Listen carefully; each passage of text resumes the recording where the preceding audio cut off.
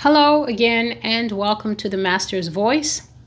I am Celestial, and you are welcome to this channel. To old and new subscribers, you are very welcome. Please adjust your settings by looking above or at the bottom until you see a cog icon and then click advanced or higher quality and bump the video up to 720 or 1080p so that you have a clear picture to work with. I am continuing with the Sin series and recently I received an urgent word from the Lord. This is not a new word, it's not a new theme. It is the theme of foreign invasion to the United States. But this time the Lord brought the word with an increased urgency.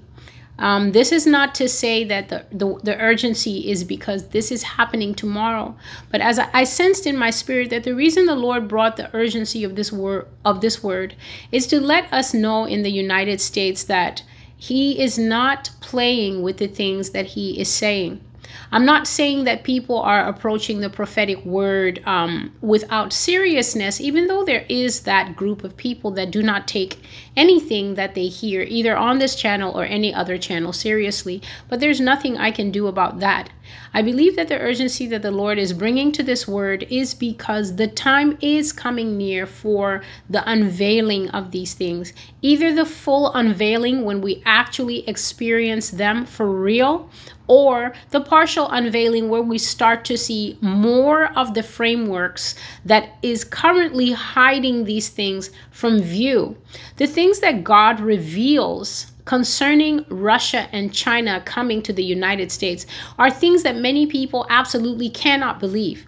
And the reason that they cannot believe it is because they feel that the protective mechanisms of the United States, the army, the military as a whole are so powerful and so comprehensive and so all knowing that America could never suffer attack from any country. So there's a lot of people who would see the prophecies on the Master's voice. There's currently about perhaps 15 of them. This one would make it about 16, 15 or 16 prophecies with the Lord God saying in clear and and uncomplicated language that Russia and China will come to the United States. They will invade the land. They will completely overrun the territory. God has said that they have superior weaponry. So some of the weaponry that God has showed me, he has said that these guns have been developed in mostly China and that America has absolutely no idea that these two countries that she's constantly tussling with in the international space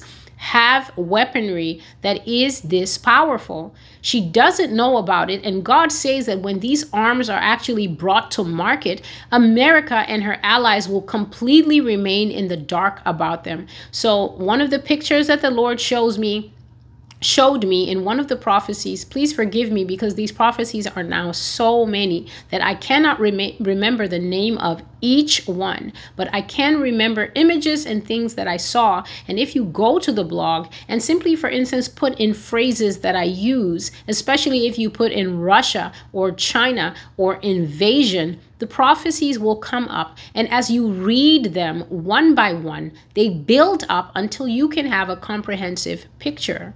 So, one of the things that I saw is that China will become extremely advanced. They already are advanced now, but what God has revealed is that they are actually hiding how advanced they are.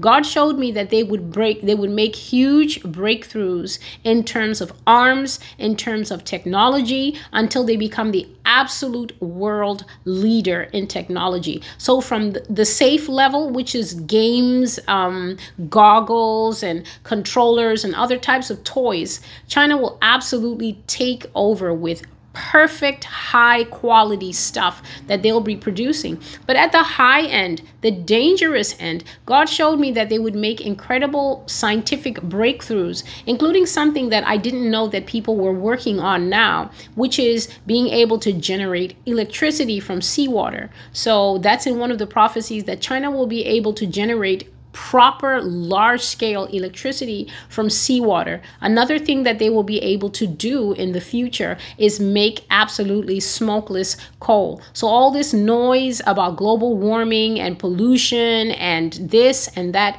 in the future, China will be able to burn coal without any smoke. I saw that in the vision. They will also, along with Russia, have extremely powerful weapons. God called them tactical weapons. So if you go to the Master's Voice, just check the URL below. Everything for this ministry and everything for the blog itself is always in the description box, as, as well as a description for every day's video. God showed me that in the end, tactical weapons will be produced in China. And these weapons, he said, will be mass destroyers of human flesh. Now, when you say mass destroyers of human flesh, you're not talking about killing on a village scale or a small scale town. You are talking about the annihilation of cities. And this is what these nations have in store, what they are working on, and what they are planning for the United States. Now, you might ask, why would God allow this to happen to America? Why would God allow this to happen to the United States? What have we done that's so bad? A lot of people do come to the blog and ask this question, and my answer is always the same. The Lord has said that these are the judgments that will come upon the nation of the USA because of her sin. This is the sin series. And the only reason that God told me to make absolutely sure that I insert this video, which actually you could say belongs in the Russia and China series, is because the Lord focused on the sin of America, how noxious the sin of America is in the nostrils of God, how unrepentant the nation is historically, when you look in the Bible, when God gives a nation over to be destroyed by her enemies, as he many times did because of Israel's hard headedness and sinfulness, it's because that nation completely refuses to follow the laws of God. She wipes God off the slate completely. She does not want to adhere to his rules. She does not want to honor his personhood, meaning that she does not want to worship God. And then she raises up effigies or images of false gods and plants them all over the land so that the nation itself becomes polluted.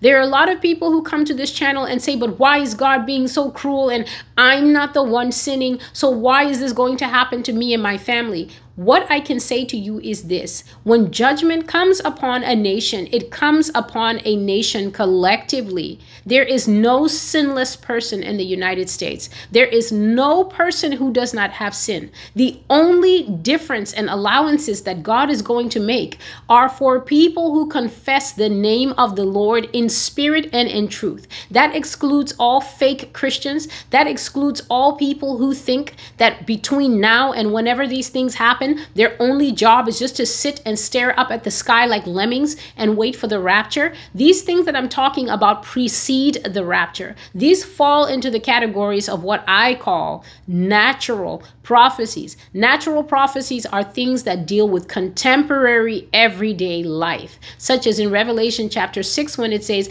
there will be wars and rumors of wars. It talks about the red horse riding in Revelation chapter 6, and in Matthew 24 is where it says wars and rumors of wars. These things are not going to happen after any rapture. They are part of contemporary prophecy, meaning that the wise Christian is supposed to be preparing their heart heart, soul, mind, spirit, and family and general environment for these things now. So there is no sinless person in America, and sin is collective, and that's one reason that judgment will come to this nation. Another reason is that the Lord has said that this is mystery Babylon, the hidden nation in prophecy and scripture that is said to be so sinful, so prideful, so lifted up, and so abstinent from morality and righteousness that God will wipe this nation out in a single day. Scholars have argued for years as to the the the name as to what the identity of this nation is the lord has said on this channel to me and i have said it so many times that this nation is mystery babylon that there is no mystery anymore. He has opened the mystery as to the identity of mystery babylon and all the punishments that are stated in the book of revelation concerning mystery babylon are punishments that are going to fall on America. And so I go to the prophecy for today. The name of the prophecy is obvious as to what I'm going to be talking about. It is called The Russians Will Take America. And I received this just three days ago on June the 27th, 2021. The banner scripture is one that God has been giving me for years. And I've shared in multiple times. I've had to read the scripture out on camera many times. I've had to explain it many times on the blog because this is a scripture that God has been giving me for years upon years upon years. And not only does He give it to me by the year, but He gives it to me every single week. So I hear the scripture sometimes multiple times a day as I'm doing other things, apropos of nothing. I won't be praying. Maybe I'm making a meal, or maybe I'm working, or maybe I'm reading a book and this scripture will come, and the full of it is Isaiah chapter 9, verses 10 to 12. But on this day, the Lord gave me verse 11. Verse 11 says, Therefore the Lord shall set up the adversaries of Rezin against him and join his enemies together. And so, what this scripture basically means is that God will raise up the enemies of a particular king and strengthen them himself. He will make them strong and he will join them together in such a fashion that they are very strong and united. They will have a particular integrity about them that makes them hard to push back against and hard to punch through and ultimately hard to beat. And so I don't know the timing of these things, but I know that it behooves us to listen to the Lord and prepare. Here is what God said. So I was praying and worshiping on the 27th. I was praying to God about my own things, but when the Lord came to speak to me, it had nothing to do about the songs that I had been singing to him. He was talking to me that and telling me that America is going to 100% fall to Russia, and he was giving me the reasons that he, God, will strengthen the Russians to take over America God said that He will not help America at all. And He instructed me to make it very plain, both in the written prophecy, which I have done, and in the video. He said to leave no ambiguity that none of the judgments He has spoken against this nation through this ministry will fail. He said that He will strengthen Russia and He will bring Russia here after he has built up both Russia and all of America's enemies. God said that he would build them up until they ultimately are strong enough to fall on America and destroy her. And so, one of the things that God has said is that the United States will be like Atlantis. And so I asked in the blog post, and I ask it here on camera, who are the students of history and who are the ones who are very interested in what Atlantis was and how they fell? I said that I'm certainly not one of them because my day doesn't give me enough time to dig deeply into every topic that the Lord brings up. But from what I know of Atlantis, my interest is in why God would compare this modern day nation, America, the United States of America, to an ancient city, an ancient nation in a way, because sometimes the, the nations were just one big city. That was all it was in the ancient days. That nation of Atlantis was destroyed in a single day. In a single day, Atlantis went under the sea, never to be seen again. It was completely wiped off the map, and there was absolutely no trace of it to this day.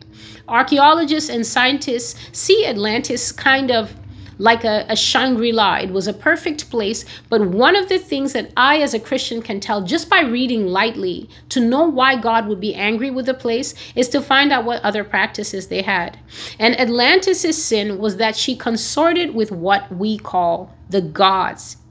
The gods are these fallen creatures, fallen angels, aliens, and other ancient beings that were constantly coming to ancient civilizations and offering them technology that was far ahead of their time Egypt was one such nation that received technology far ahead of their time, and the Atlanteans were others. They slept with these foreign beings. Atlantis was known to have brought forth hybrids. They had hybrid culture, hybrid people, hybrid rulers, and they also had hybrid technology. And they completely did every kind of abomination that God said not to do, such that God caused the sea to rise rise up like a sheet and cover that place in a single day.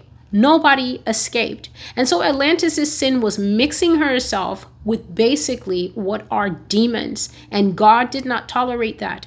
And America, in many different prophecies that I have brought on this blog, has done the same. America has grievous sin of the humankind, such as same sex relationships that she has not only legalized here, but she's actively pushing for all over the world. There's fornication here, there's legalized abortion here that is also greatly championed by the United States all over the world. God has said that the people here are so selfish and so insular. They're always focused on themselves and how the nation can be number one, how they can take what even belongs to other people. And for that, God has said, and I have said it in, I think there's one prophecy that I can remember. Please excuse me. It's called fire. And in that in that prophecy as well as another prophecy called in one hour. God said that America will absolutely cease to exist. One of the things that I've seen is that the land mass of the United States tilted on the west side. So the California, Washington, Seattle side, the, na- the nation tilted on that side and it went under the water, just the way you put a dish plate in the water. You know, when you fill the sink full of water and you're sliding the dishes in to let them soak for a little bit? America tilted and went under the sea on the west side of the continent. And another thing that I saw is that America broke off along San Francisco, San Andreas, I think. It broke off there like a cookie and, and then that piece that broke off just went underneath. Another thing that I've seen is that water will come very far inland of the country, very, very far inland. In that prophecy, God told me that many parts of the United States will be absolutely lost underwater. I saw very tall skyscrapers here on the New York side as well that went underwater. I don't know if the land broke off on this side or if it simply sank, but it it kind of just went down. I just saw in the vision that it went down and the sea rushed in to fill that vacuum and filled everything. And there were skyscrapers, these very, very tall skyscrapers completely submerged. And so the reason that God says that America will be like Atlantis is not only for the sins that she has committed that makes her like Atlantis, but that she will be wiped from the map and she will cease to be a nation. America will become a footnote in history that will not be remembered anymore. People will ask, come on, did this place really exist? And the nation will be lost to time. So I hope that we can appreciate the gravity of what I'm saying here. One thing I've noticed that makes it difficult for people to hear and process prophecy is that as you are living your daily life and you are dealing with the daily things you have to deal with, it becomes very difficult for people to wrap their minds around the large scale, mind boggling things that God is saying, such as an entire nation will be completely defeated and then wiped away. It gets really hard for people to process that, but I hope that you will do your best to take these prophecies in prayer to the Lord because the Lord keeps saying these things. And whenever God keeps bringing the same message over and over, it tells me two things. The first thing is that He is absolutely serious about what He is saying. He will not take it back, He will not reverse it, it will not go away no matter how much we pray, fast, and cry. It is what we call a fixed judgment, and it will not pass away. The second thing is God will continually bring a message over and over with urgency when people are not listening. So when people see things like this and they just take it anyhow and they laugh and say, Have you seen the Navy? Have you seen the Air Force? We could destroy the Russians. I'm here to tell you in this prophecy and in several others, you cannot destroy the, the Russians. God says that the Russian discipline leaves America in the dust. He says that the Chinese discipline and dedication makes America's way of training its soldiers laughable. And that when soldiers meet, especially ground forces, meet combat to combat, the American forces will be easily defeated because the other side will have skill, cunning, and even willingness to die for their purpose and their mission. So I read the prophecy out. The Russians are coming and they will take up the territory of America. They will take up the land, the sea, and the air. They will take control of the landmass, the sea channels, and all the airways of the United States. They will be Lord and Master over America with complete and total control over everything, especially telecommunications and all forms of media. They will take over broadcasting across the nation and they will speak their own things to America, and this nation will be desolate. A coup from within, says the Lord, an insurrection, and then America falls and becomes a slave to her enemy. This is the revelation of the Lord Jesus Christ. And so the Lord was saying multiple things to me, and I will try to get through all of them so that the video will not be too long. God said that Russia would have multiple allies when she comes here. He said that America is not prepared for a ground war and she cannot compete with the training and the dedication of other nations in terms of how their ground forces are trained. The Lord said that being arrogant is not how you win ground wars, but by having skill and selflessness in times of combat. The other nations are very cohesive in their training and they will outwit America by their size of forces, meaning how many soldiers they're going to bring here, by their speed, by their cunning, and also because they will have superior weaponry in the end times. He said that multiple countries will contribute to the ground forces that come here, and their footprints will cover America from one end to another. The Lord said that the United States will become a colony. I have said this before and I explained what a colony is. A colony is when one country takes over another country. It doesn't only mean that they take over the physical landmass and they take control of the people, Colonization means that you impress or you press upon a captive people your way of thinking, your way of life, your beliefs, your morality, your way of doing things, and you utterly remove the habits, the culture, and the belief systems of the people that you have conquered. So the Lord says that America will be run by Russian rules, Russian mandates, and the Russian way of life. Anyone who does not obey these things will be eliminated with efficiency. You will see Russian language spoken, Russian values in operation, and the Russian way of life. If you do not agree, you will be removed. Americans will have to speak Russian by force or they will lose their lives trying. I, the Lord, will strengthen Russia and I will strengthen their God ordained leader.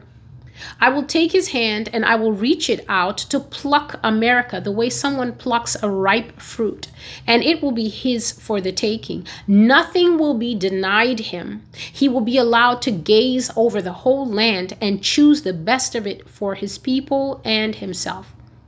The next thing that God revealed was tactically how this will happen.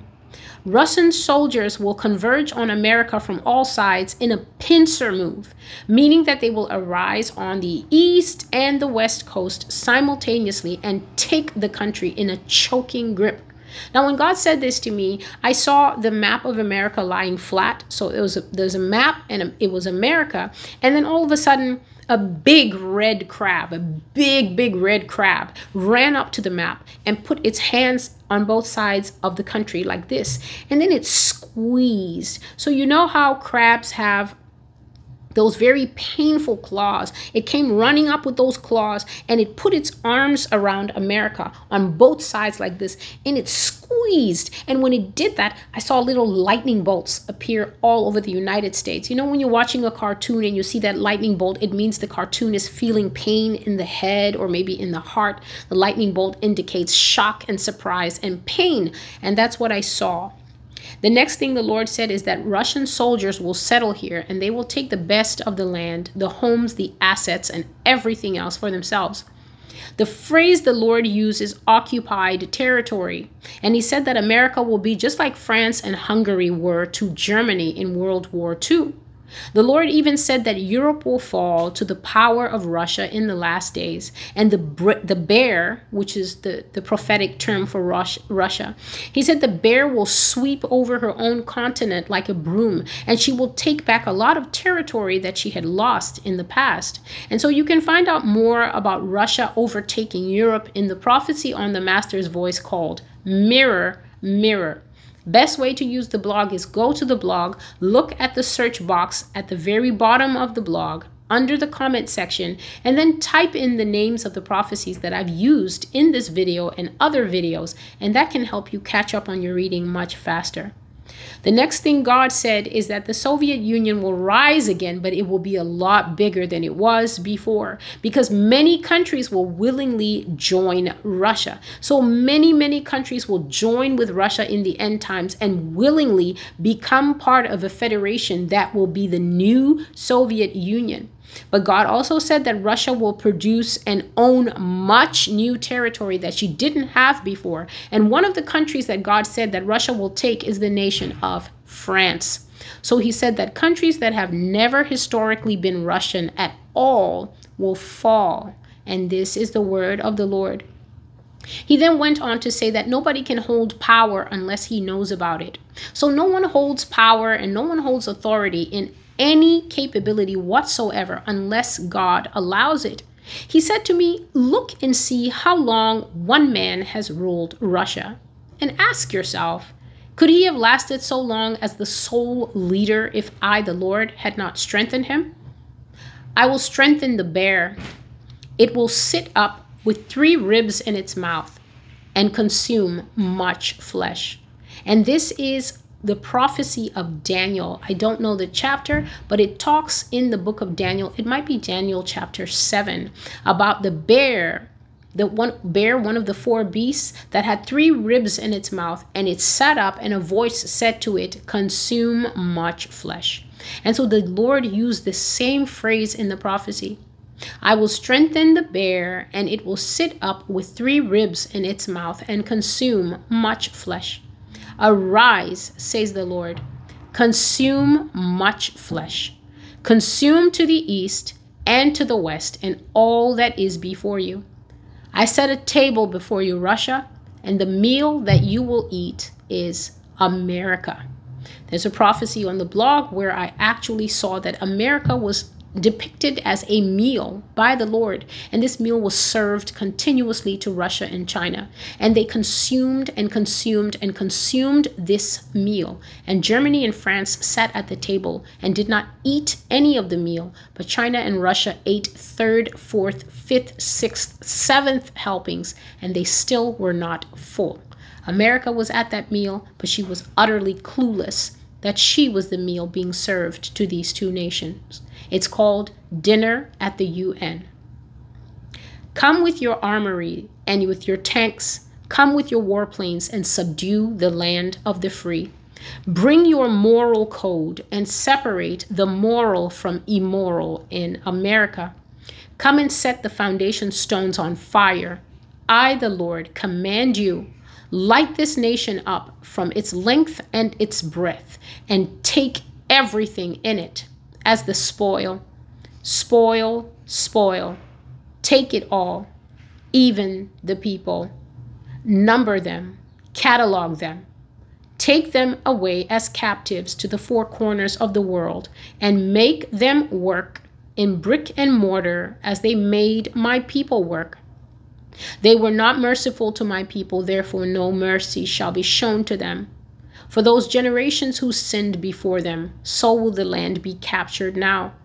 And for the sin of its current inhabitants, meaning the sin that each person is sinning now in America, I, the Lord, will repay. For their sins are overflowing before me. They are loveless and selfish, cowardly and unmerciful. They are scheming and they have no love for their neighbor. Therefore, I will destroy them out of the land I gave them, and I will drive them out to be servants and servants and slaves in other lands. The survivors will lament, and they will constantly be forced to tell their story. They will have no rest from being asked, What happened to your country? And what did you do for the Lord to strike you people so? And so I will just go back up and cover a few. The Lord says that Russia should come with its armory and with its tanks, and it should bring its moral code. And with that moral code, Russia should separate the immoral from the moral in America. The Lord has constantly said that because of the sexual immorality in the nation of the United States, the particular characteristics of the captivity and the invasion of this nation will be that people will be captured and their clothing will be removed. I've said multiple times that I have seen naked people in zip ties being lined up in processing centers and then, in some cases, put on ships and shipped out of the country. I know that nobody wants to hear this. However, I'm not here for popularity's sake. I'm here to be absolutely true to the prophetic words that the Lord has given me. One of the reasons that God said that he will do this is because that people in America can't keep their clothes on.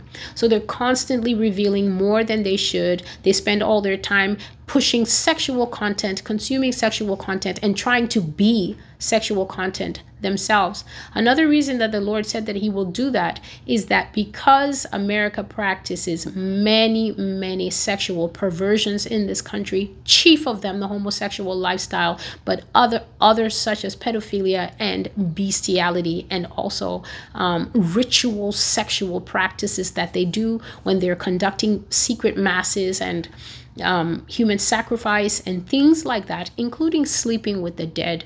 For that reason, God says that just because America crosses the line with sexuality, her punishment will also be in sexuality. And so the clothes that Americans don't want to wear will be stripped off them. And I repeat what I have said in multiple prophecies you will be naked in front of who you don't want to be naked in front of. God has said that when these people come, they know that a man is a man and that a woman is a woman. They will not tolerate this blurring of genders that America pushes and advocates for. They will not tolerate this I'm both at the same time, or I'm one on Tuesday, but you can call me a woman on Wednesday, and then I'll go back to being a man on Friday.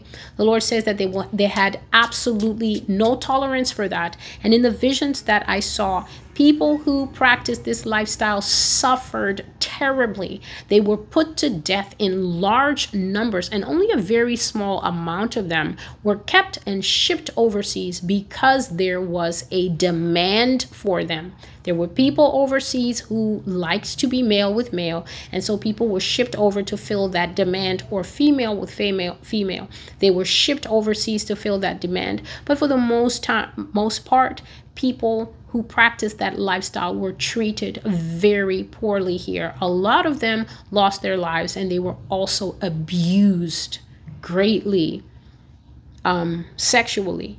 So if you have ears to hear these things and you think that I come on this camera just to say things because I have nothing to do during the week except to put this camera on and make videos and talk about what I don't know, I really don't know what else to say. I'm going to be true to what God shows me to the very last. And when I have made the last video, they will stay here as a testament to my faithfulness to God, and He will be the one to bring them to pass in His own timing. So, the last thing was that the Lord said to list out the sins before people. So the sin of murder, the punishment, capital punishment. The sin of abortion, the punishment, capital punishment. The sin of abandonment and abuse of minors, capital punishment. The Lord said that there will be no reprieve or forgiveness for this. If you have committed it, the millstone will be put around your neck and cast into the sea. The sin of same sex perversions, the punishment, captivity, rape, and capital punishment. If you have committed this sin and you have not repented, a yoke will be placed around your neck and you will be taken where you do not want to go, to serve masters you do not want to serve. A drunken cup will be served to you, and with the same energy that you have defiled yourself by practicing this lifestyle, the Lord says that you will also be defiled in return. The sin of human sacrifice, the punishment, capital punishment the sin of eating the flesh of humans, the punishment, death, capital punishment. All who eat the flesh of men and drink their blood know that you have defiled the temple of the ever living God, meaning that you have defiled the body of another person. You have also defiled your own temple and defiled what I, God, have made. To all who eat people in cannibalism and occultism, I am the Lord. I will repay you to your bosom and to the bosom of your seed for this sin. To those who practice man to man, woman to woman, I will not forgive this sin in the day of my judgment. Even if you scream and cry your repentance to me in that day, you will not be forgiven. You will be repaid in full for this, even if you committed it in your old age or your youth. If you have not said sorry and laid aside this abomination in the day that my judgment comes to this nation, you will bear the penalty for this in your flesh in full. And so I have read out everything that the Lord has given me. And all I will say is this as we go through this series, I am going to be reading out some very strong and very graphic things. I strongly advise to everyone that if you do not think that repentance is something you need to practice daily, even as a Christian, or that you need to walk in and find the Lord if you are not a Christian, my advice to you is to take the Lord's words to heart. Begin to study what pleases God. Give your life to God and come over from the side of whatever it is that you want to do, where you are the Lord of your own experiences, you are the king of your own life, and recognize that these things have come to their useful end for you. I repeat, sin has no useful end for the human being. The only thing it will do is continue to widen the gap between you and God until the day that the Lord's judgments fall suddenly and without warning. Thank you for being on this channel. I am Celestial. This is the Master's Voice. You can find everything about my ministry by looking in the description box below. Please subscribe to the channel. Please follow me on Rumble. All that information will be below. Help me to spread the word by sharing these videos prayerfully as you are led. And until I see you again, take care and goodbye.